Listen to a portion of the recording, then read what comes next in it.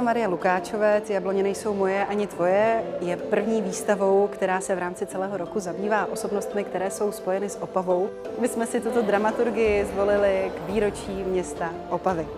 Na této výstavě budete mít možnost vidět jak grafické práce Marušky, kresby, tak samozřejmě i její vizuální věci, videa.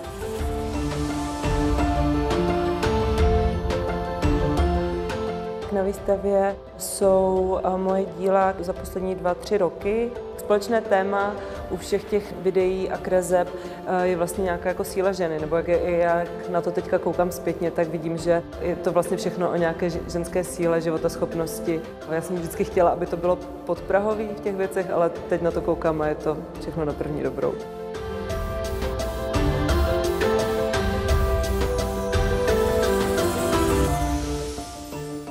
Výstava se týká hodně ženských témat, je velice progresivní, používá velice speciální eh, barevné tóny, které jsou pro ní tematické a osobité.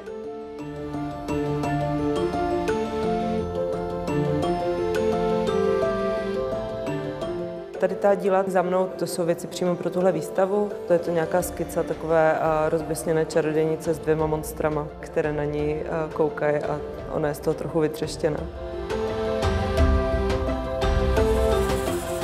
Moje inspirace je jednoznačně uh, můj fuck up, ale zároveň taky hodně vycházím ze svých snů. Já vzhledem tomu, že jsem z Opavy, tak vycházím vlastně z přírody, která mě obklopovala v dětství a z příběhů, které do mě zasadilo moje okolí. Co vychází z Opavy jakoby nejvíc je knížka Drak a ryba, která je v podstatě nějakou jako autofikcí mojeho dospívání, kde jsou nějaké jako aktualizované příšery a monstra a zároveň ale i jako pohádkové bytosti.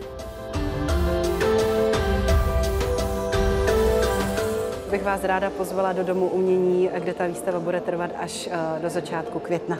Ke konci plánujeme také komentované prohlídky s Marí Lukáčovou. Pro všechny ty, kteří by měli zájem dozvědět se více, Maruška vám ráda zodpoví dotázky i vám ráda zodpoví to, čí ty jabloně teda jsou.